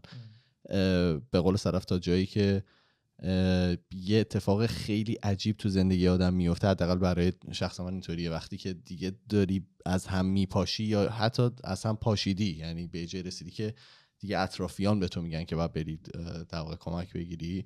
اون موقع است که ما میریم سمتش و اون نسسرلی دیزاین فلا نیست. مثل یه در واقع که ما ازش استفاده نکردیم و موقعی که شرایط خیلی سختی میشه بهش نیاز داریم و نیست. درست میگی. حالا گفتم دیزاین فلا حالا من خودم یه تعبیری دارم وقتی که خیلی شدید میشه به خاطر اینه که دقیقا به همون دلیلی که گفتیم ماها چون دسترسی نداریم به درون و احساساتمون انگار سیستم عصبی مجبور میشه خیلی بزرگتر از چیزی که هست قضیه رو نشون بده که توجه ما رو به خودش جلب کنه. خب، مثلا ما اگه فرض کنید یه جایی یه احساس خطر کوچیکی بکنیم ولی اونقدری به احساساتمون دسترسی نداشته باشیم که متوجه شیم سیستم عصبی انقدر این رو بزرگ می‌کنه تا جایی که تو بالاخره متوجه بشی. و این حالا تفسیر خودمه. که گفتم راجع design flaw ی که میگم اون حالا مثلا توی حیوانات و طبیعت و اینا خب منطقیه. تو خطر کشته شدن داری حیوانات ممکنه درنده باشند خب این سیستم عصبی ما هم اونجا develop شده. برای این میگم design flaw که برای مثلا زندگی شهرنشینی الان دیگه به نظر خیلی منطقی نمیاد. مثلا من اگه دارم با partner م دعوا می‌کنم ضربان قلب بره بالا و من شروع کنم عرق کردن و می‌دونی واکنشی رو داره میده که تو توی خطر جانی واقعی هستی اون واکنش رو بدنت نشون میده. در که تو اون لحظه به نظر میاد اون لازم نیست. درسته این ممکنه به این دلیل باشه که مثلا من نوعی توانایی این رو ندارم که درست بهش برسم در لحظه مناسب با راهکار مناسب. ولی به نظر میاد اون واکنش اون مثلا ضربان قلب و نمی‌دونم عرق و فلان و اینا ممکنه خیلی متناسب با شرایطی که تو هستی نباشه. بالاخره پارتنرت اصلا سر کاری. یعنی در نهایت که طرف نمی‌خواد بیاد تو رو بکشه که. ولی بدن تو رفته توی حالت اینکه خودت رو زنده نگه داری. برای همین میگم دیزاین فلا یعنی دیر این در واقع داره تطبیق پیدا می‌کنه با زندگی شهرنشینی ما. مثلا یک میلیون سال قبل من یک میلیون سال بعد احتمالا این تعدیل پیدا کرده این مدل واکنش ها آخه قرار نیست که ببخشید فقط قرار نیست که سیستم عصبی ما با زندگی شهرنشینی ما تطبیق پیدا بکنه. قراره که زندگی ما با بدن ما تطبیق پیدا بکنه. این این نرمالیه که به ما القا شده به ما تحمیل شده. چون اگر که اون همون عکس عمل رو نداشته باشی فرض کن که با همون پارتنرت دارین تو خیابون با هم دیگه راه میرین یه ماشینی بدون بدون توجه یهو میپیچه داره کم کم زیر می‌گیره پارتنر تو. تو اگه ضربان قلبت نره بالا عکس العمل نشون ندی هیچ کاری نمی‌کنی. ولی وقتی که ضربان قلبت بالا میره عکس العمل نشون میدی اونو می‌تونی بکشیش کنار. دقیقا. اونجا لازمه که اونجوری باشه. ولی مثلا فرض کنید من دارم با ایمان راجع به یه چیز پادکست صحبت می‌کنم نظرات مخالفی هم داریم. هیتد کانورسیشن هم ایجاد شده. بعد مثلا ضربان قلب ما رفته بالا نمی‌دونم احساس خطر می‌کنیم. من میگم اونجا اون واکنش سیستم عصبی خیلی متناسب با شرایط اون لحظه نیست. اون از ناتوانی خودته. اون از lack of self regulation درسته من اینو اشاره کردم دیگه. می‌تونه اینا همش به این دلایل باشه. ولی حالا باز برداشت منه یعنی مطلب علمی نیستش که.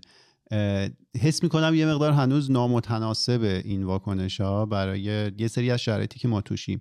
بعد اون چیزی هم که گفتی قرار نیست سیستم عصبی ما با زندگیمون تناسب پیدا کنه برعکس زندگی باید. این این رو فکر می‌کنم یه ذره دور از زندگی انسان مدلیه که تکامل پیدا کرد. دقیقا سیستم عصبی جوری در واقع دیولوب شده تو طول زمان که ما رو آماده کنه برای زندگی که داریم می‌کنیم. برعکسش نبوده. یعنی یه سری انسان به وجود اومدن که مثلا خرس می‌دیدن بدنشون ممکن بوده این واکنش رو نشون نده اونا رو رفته خرس خورده نسلشون منقرض شده. ماهایی موندیم که بدنمون به خرس واکنش نشون داده. پس سیستم عصبی خودش رو تطبیق پیدا در واقع اون سیستم عصبی که توی اون طبیعت مناسب بوده برنده شده و مثلا جون سالم به در بوده. Survival of the fittest. Yeah. کارون یه میلیون سال زود به دنیا اومده. این من ولی لپه کرد. آره یه میلیون سال دیگه من حد می‌زنم. این واکنش ها مثلا توی دعوای مثلا بین انسان ها دعوای لفظی احتمالا بدن دیگه این واکنش رو نشون نمیده. دلیل داره که بدن در آینده هم اینو نشون نمیده به خاطر اینکه ما همینطور که یاد می‌گیریم که خودمون رو regulate بکنیم کم کم, کم توی اون DNA coding مون این جا میفته که okay این اینو نمی‌خوام دیگه عکس‌العمل نشون بدم ولی از من شروع میشه که این self regulation رو بلد باشم و یاد بگیرم. ربطی به زندگی شهری زندگی غیر جنگلی نداره. می‌دونید چی میگم؟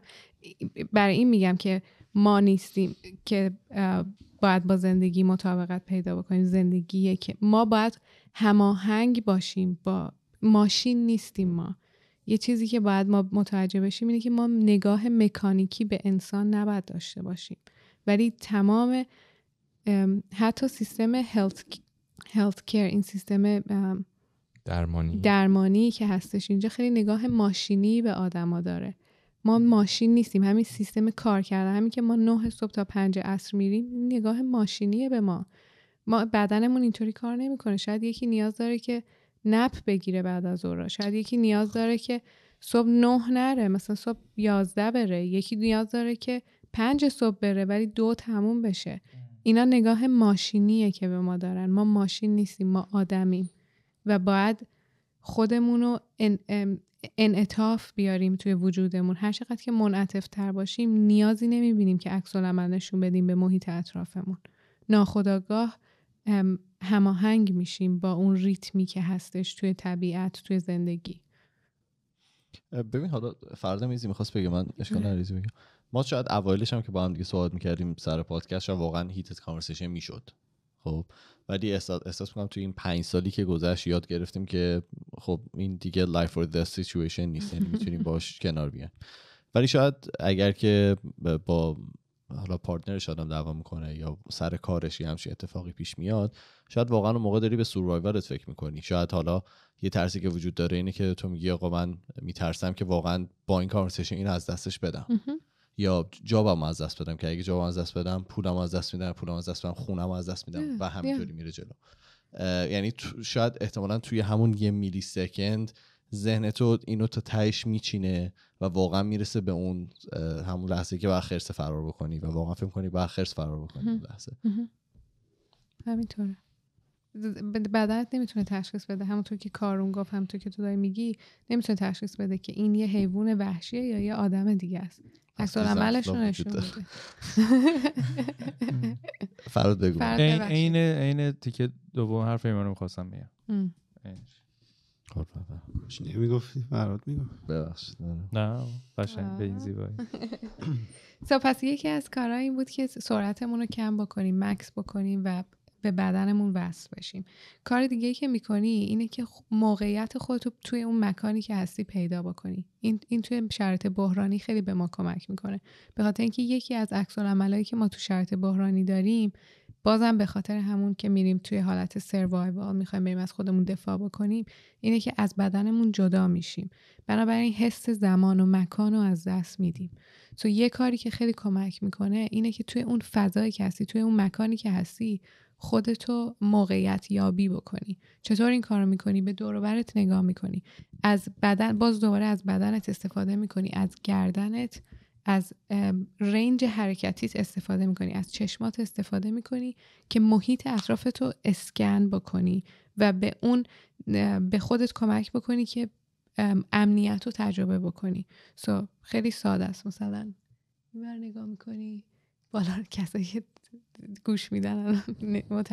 بالا رو نگاه می‌کنی چپ رو نگاه می‌کنی راست رو ASMR شد دیگه. پایین رو نگاه از می‌کنی. دور شدن صدای شما می‌تونم بفهم کدوم همه این ور و اون ور رو نگاه می‌کنی و خود موقعیت خودتو پیدا می‌کنی که که باز دوباره کمک بکنی که بیای توی اون مکان بیای توی جسم خودت بیای توی اون زمانی که هستی. سو اینم یکی از کارهای دیگه است. یه کار دیگه ای که می‌تونی بکنی توی درمان تراما از این خیلی استفاده میشه و وقتی که تو شرط بحرانی هستی و می‌خوای پیشگیری بکنی که علائم اون PTSD که توی یکی از اون اپیزود فکر کنم اپیزود دوم راجبش صحبت کردیم و کمتر بکنی اینه که تو انگلیسی بهش میگن پنجولت یعنی حرکت پاندولی داشته باشی. یعنی یه جایی که یه, یه چیزی که برات خطر درست کرده رو شناسایی بکنی و یه جای امنی رو هم شناسایی بکنی و بین این خطر و امنیت هی خودتو حرکت بدی مثل یه پاندول. از همیشه توی اون خطره نمونی. بیاری خودتو توی امنیت بیاری خودتو توی اون نقطه امنی که توی بدنت هست. تو یه جای امن توی بدنت رو پیدا بکنی و اون خطری که بیرون هستم هستش. هی میای توی بدن خودت میای توی اون نقطه امنت میری توی اون خودتو در معرض اون خطر قرار میدی. سو اینطوری داری به بدنت به- به سیستم عصبیت این پیامو میدی که یه جای امنی هم هست. همیشه خ... هم... همه چیز خطرناک نیست. یه جای امنی هم هست و باز به خودت کمک می‌کنی که خودتو آروم بکنی. سو pendulate یعنی اینکه حرکت پاندولی داشته باش. این میک سنس می‌کنه این چیزی که دارم میگم؟ من برای من گنگ بود. خیلی. آره. اوه خب. سو یعنی اینکه اوکی چطوری بگم؟ مثلا برای شخص ببین برای شخص من اوکی سو توی بدنت نمی‌تونی پیدا بکنی. توی خونت. توی خونت یه جای امنی رو داری. مثلا اتاقت جای امنته. خب؟ اینی که همومه برای من. حالا اگه بخوایم بدونید. همومه. مثلا هموم جای. امنه. فکر کردم رو مبلی تو. نه. هموم جای امنته اوکی؟ یا اتاق جای امنته مبل جای امنته. سو از اون فضای خطرناک ذهنتو دور کن و ببر خودتو بذار توی اون جای امنی که برات امنه. ببر خودتو بذار توی اون فضای اتاق و اون توی امنیت اون هموم که تجربه می‌کنی. و اجازه بده که اون احساس امنیت رو تجربهش بکنی. ولی خودت یعنی فیزیکلی بلند نمیشی بری توی اون فضای هم نه اگر که منظورم که مثلا این شاید مثالی که می‌زنم اشتباه باشه ولی اگه که توی خونه هستی و این استرس میاد سراغت می‌تونی فیزیکلی بری تو اون جای امنه. ولی این برای موقعی که مثلا سر کار هستی و نمی‌تونی فیزیکلی بری اونجا آره. میگی ذهنتو ببر. مهم، مهم، مهم. یکی از کارهایی که برای امنیت درست کردن اینه که فیزیکلی اگه می‌تونی فیزیکلی بلنشی بری اونجا. ولی اگه نمی‌تونی ذهنتو می‌بری اونجا. ذهنتو می‌بری پیش اون جای امنه. و اون هی پنجولیت می‌کنی. دیگه میگم هی میری میای هی میری میای که, بخ... که امنیت رو بتونی تجربه بکنی توی موقعیت سخت. سو یا اینکه توی م- یه جای امنی توی بدنته یا یه مکان امنی مثلا توی خونته یا یه مکان امنی یا یه شیء امنیه. مثلا یه یه چیزی داری که بهت احساس امنیت میده. مثلا یه گردنبندی داری یه سنگی داری یه عروسکی داری هر چیزی که هست. اونو اونو می‌گیری تو دستت یا ذهنتو می‌بری پیشش اگه که در دسترست نیست.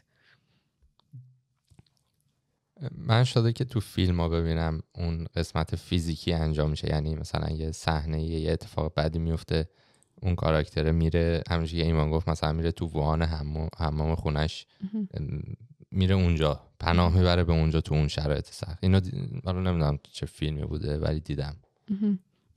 سو یه, یه, یه چیزی که خیلی مهمه. اینجا اینه که من اتوماتیکی نمیرم مخفی بشم تو اون جای امنم. انتخاب می‌کنم که برم اونجا. چون که توی موقعیت های سخت ما قدرت انتخابمون رو فکر می‌کنیم که از دست دادیم یا واقعا بهش دسترسی نداریم. سو با این کار انتخاب می‌کنی که می‌خوام برم خودم ببرم توی امنیت. من این توانایی رو دارم که خودم ببرم توی امنیت. سو می‌بری خودتو توی امنیت میای بیرون. می‌بری توی امنیت میای بیرون. چجوری آدم می‌تونه بفهمه که این واقعا ناخودآگاهش یه تصمیمش گرفته که این کار بکنه؟ یعنی من بعضی موقع خودم رو مثلا پیدا می‌کنم که شاید مثلا چند ساعت تو ذهن خودم درگیر بودم ولی فکر می‌کردم که توی جای امنی هستم. موقعی که مثلا من رسیدم خونه و که من مثلا دیگه امنم هیچ چیزی نیست مثلا هیچ فکری ندارم ولی چند ساعت میگذره و می‌بینم که من چند ساعت تو ذهن خودم گذروندم. خب اون اتوماتیکه دیگه چون اصلا آگاه نیستی که داره اتفاق میفته. هر جا که آگاهی نباشه یعنی اتوماتیک. همون منظورم اینه که چجوری می‌تونیم به خودم بگم که اوکی الان من چجوری می‌تونم این کار رو بکنم که الان من تصمیم گرفتم که برم تو این جای هم؟ به خودت بگو. بگو او ایمان من الان میبرمت توی امنیت. این این این ببین یه یه استیگمای هستش که مثلا آدم میگی با صحبت آره دیوونه. آدمی که با خودش صحبت می‌کنه مشکل مثلا روانی داره. همچین چیزی نیستش. با خودت صحبت می‌کنی و آگاهانه داری این کارو می‌کنی. اوکی. این یه چیزی بگم. چند روز پیش؟ این اتفاق افتاد. من مثلا یه شاید یه مثلا 20 نیم ساعتی با خودم صحبت کردم. بعد گفتم حالا من تو این گروه خودکست بزنم. شما با خودتون صحبت می‌کنید یا من واقعا دیوونم. بعد گفتم نه واقعا فکر کنم دیوونه هستم ولش کن. بعد هیچی هم نگفتم یعنی بعد از اون. حالا این چیزی که صرف داره میگه این استیگما احتمالاً. یعنی ما اون همه دریوری تو اون گروه میگیم کسی به خودش شک نمی‌کنه تو سر این یه موضوع به خودش. نه آخه خیلی نه، بش- طولانی شد واقعا. مثلا یه مدتی همونجوری که حالا صرف گفت توی خونه‌ش هم راه می‌رفتم می‌خوام صحبت می‌کردم. بعد که همه با خودشون صحبت می‌کنن. فقط بعد نتیجه می‌گرفتم. بعد جالب. آره همه هم کارم یه به تات پروسست کمک می‌کنه. به اون بلند روند بلند. صحبت می‌کنید؟ نه من بلند نه بلند من بلند من جواب خودم بلند میدم. نه منم صحبت می‌کنم. ولی این تاثیر داره بلندا وقتی صدای خودتو میشنوی خیلی تاثیر داره. تست. کنید. نه. تو هم تو هم بلند بلند حرف کم ولی یه سخته. وقتایی می‌کنم این کارو. ببین ولی به آروم ببخشید می‌بینی که به آروم شدن کمک می‌کنه وقتی فکراتو مثلا اتفاقی که برام میفته من وقتی با یکی صحبت می‌کنم تازه انگار فکرام داره طبقه بندی میشه. برای همین میگن بنویسید رو کاغذ. چون تو وقتی تو تو ذهن خودتی اصلا قراقاتی فکر چون در کسری از ثانیه میاد و میره. ولی وقتی می‌نویسی چون نوشتن یه فرایند کندیه. وقتی حرف می‌زنی چون حرف زدن یه فرایند کندیه. عملا فکرهای تو طبقه بندی میشه. اینجوری که بیاد و گذری بره تو رو مضطرب کنه. تو داری پردازشش می‌کنی. Exactly. دقیقا همینطوری. ما یه کالتی داریم من دوباره میگم این پایین اسمش رو میاریم که خیلی طیف عجیبی هم هست. بعضی از بچه ها تو آینه خودشون نمی‌تونن ببینن ولی با خودشون حرف می‌زنن بعضی برعکس. خیلی. بابا. صدف از اون روزی که خودتون بغل کنید نمی‌دونم تست کردید من این کارو می‌کنم. خودم رو تاچ می‌کنم. نه. منظورم این بود که تازه شروع کردم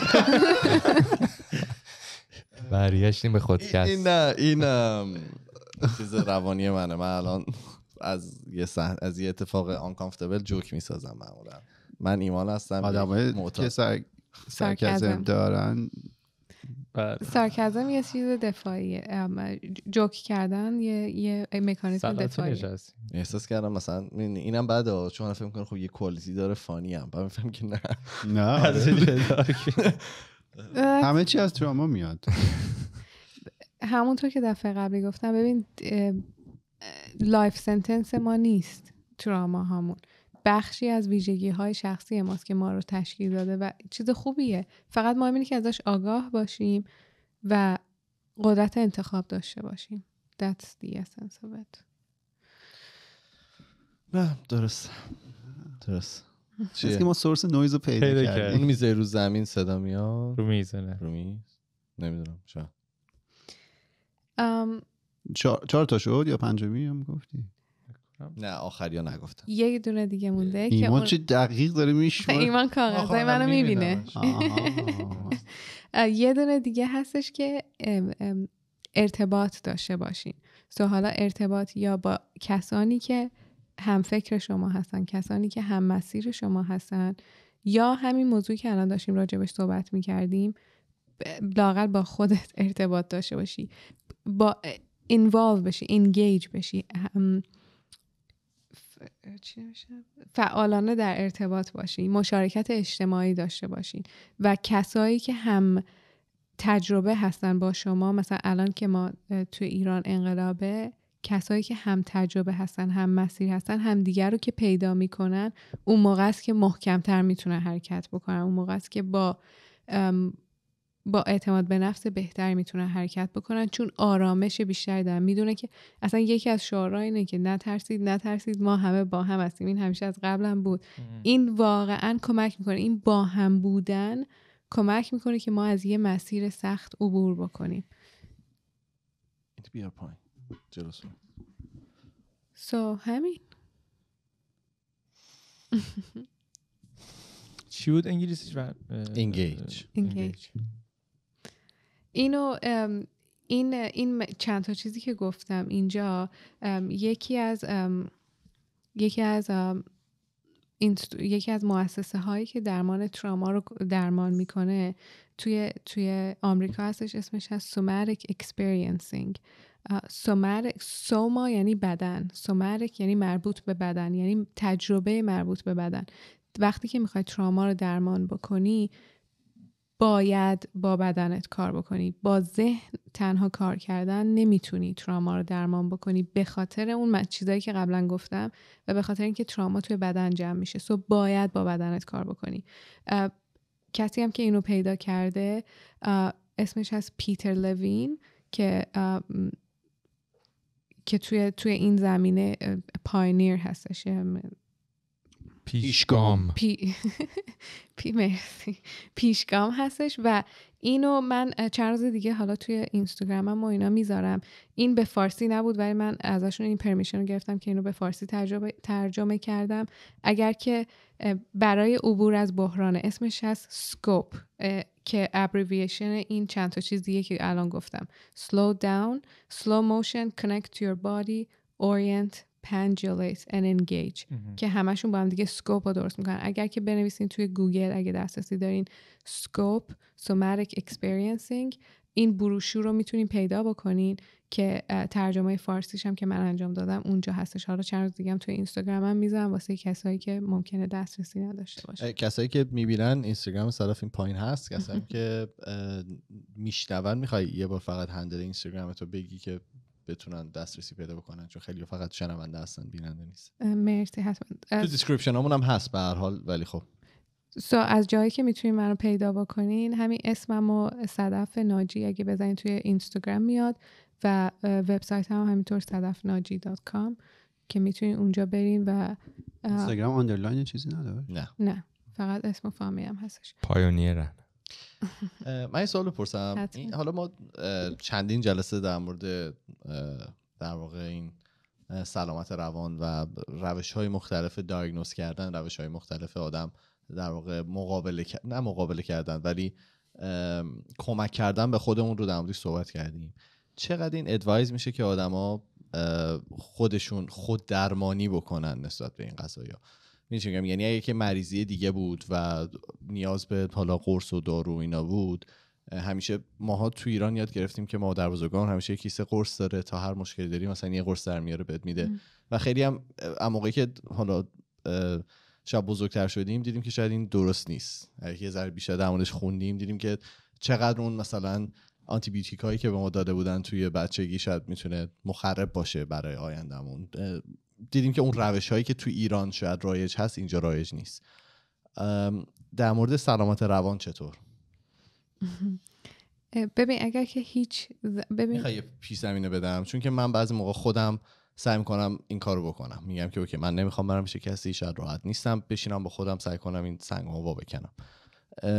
ولی خب دروغ چرا؟ یعنی پیشرفت که نداشتم یکی تو ذهن خودم اینه که پس رفتم کردم و. می‌خوام بدونم که آیا روشی که من دارم استفاده می‌کنم اشتباهه یا اصلا این شاید هم در واقع جوابی که هست خیلی واضحه. شاید مثلا تو این جوابای خودم باشه.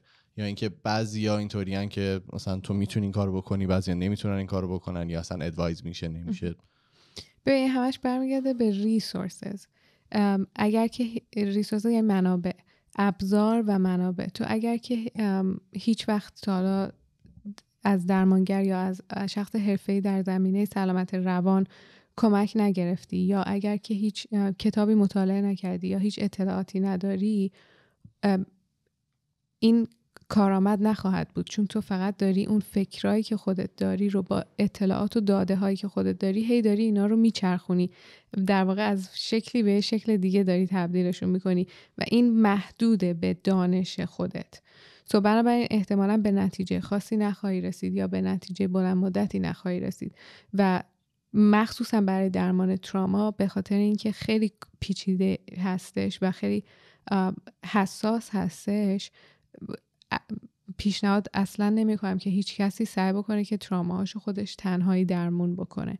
مگر اینکه شما یه مدتی از یک پروفشنالی از یک کسی کمک گرفتین و ابزارش رو بلدین. اون اعتماد و امنیت رو برای خودتون می‌تونین ایجاد بکنین ابزارش رو دارین که بتونین مثلا من خودم به خیلی از client هام اتفاقا این چند هفته گذشته این اومده توی چند تا از جلسه هام بهشون میگم که شما تا ابد نیاز به تراپی ندارین انقدر برای مدتی هست که الان داری میای اینجا با همدیگه کار کردیم روی مسائل ریشه ای کار کردیم.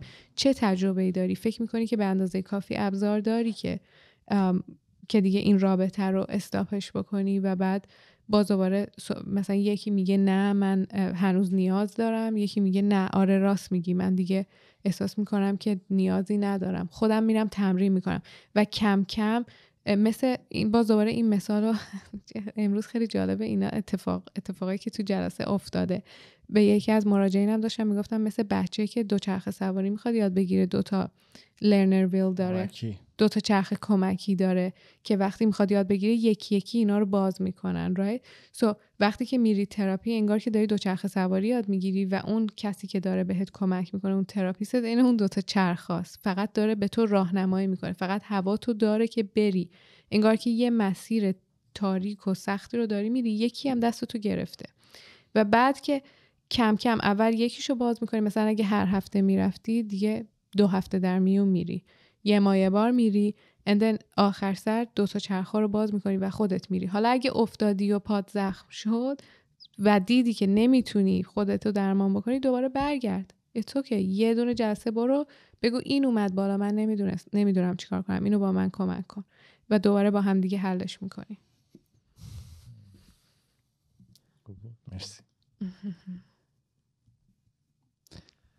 احساس آره، این این هیچکی نمی‌خواد ببنده نه این اون در واقع فکر کنم صدف تمام مطالبی که اون اولی که با فرزاد صحبت کرد مد نظرش بود رو با توی جلسات خودکست مطرح کرده ولی ما قول میدیم یه time دیگر حتما باش ست کنیم که اون سوالا رو اول می‌پرسیم سوالات رو طبقه بندی می‌کنیم در اختیار صدف قرار میدیم بعد یه روز میاد و بیشتر برامون توضیح میده تو عمل انجام شده قرار sure. no, that, that sounds good. ولی چون خیلی درخواست کرده بودن من اینو حتما همینطوره چون میگم هدف اصلی که من اینجا بودم این بود که کمک بکنم برای عبور از این چالش و بحرانی که همه ما, بس... همه ما ایرانی ها به صورت جمعی داریم تجربهش می‌کنیم و اونجوری که طبقه بندی کرده بودم که فکر می‌کردم کمک کننده باشه این بود که اول متوجه بشی که چه اتفاقی داره میفته و بعد بدونی که تاثیر این اتفاقات چی هستش. بعد از بدنت آگاه بشی و بعد به شما ابزار بدیم. سو so این این هدفی بودش که برای اینجا بودن داشتم و فکر می‌کنم که همه اون مرحله ها رو رفتیم. حالا اگه یکی چیز دیگه هست why not دوباره راجبش صحبت می‌کنیم. من آماده نیستم که اپیزود به پایان برسونم نه صدف که بعضی موقع client اتون مثلا میگن که من دیگه نیازی ندارم به این می‌تونم خودم با مشکلاتم کنار بیام من که من هنوز آمادگیشو ندارم ولی یک ساعت و خورده هم شده می‌خوایم بمانیم آره چقدر شده یک ساعت یک ساعت و 22 دقیقه عالی مرسی که این همه وقت گذاشتین این همه knowledge و دانش و چیزایی که توی مدت خردی که داشتین رو به صورت مجانی و با آغوشی باز در اختیار ما گذاشتین. و همین دیگه من بیشتر از این بلد نیستم. آره همین واقعا خیلی ممنون. به نظر من اول به همه ماها خیلی کمک کرد. اونایی که تصویری می‌بینن متوجه میشن که ماها هممون تو فکر عمیق فرو میریم حرفای تو رو که میشنویم. به خاطر اینکه مسائلیه که تمام انسانهای روی کره زمین باهاش دست و پنجه نرم می‌کنن. مثلا ما یه روز بیایم چمیدونم راجع به AI صحبت کنیم لزوما همه قرار نیست باش دست و پنجه نرم کنن برای همه جذاب نیست ارتباط برقرار نمی‌کنن. ولی این مسائل مخصوصا توی زمانی که الان هستیم هممون باهاش ارتباط برقرار کردیم آره واقعا ممنون. حالا می‌دونم ما time ای وسط هفته رو ازت گرفتیم. پنجشنبه شب سخته بعد از کار میای. راه طولانی. راه طولانی. تو بارون و برف. آره ممنون واقعا. مرسی سعی واقعا مرسی. مرسی. از شما که منو داشتین. تا اپیزود بعد فعلا خدافظ. خدافظ. خدافظ. خدافظ. زن زندگی آزادی.